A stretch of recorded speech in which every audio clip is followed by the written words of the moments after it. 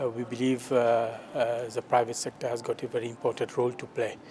That's why we fully engage with the private sector. How we engage it? It's different ways.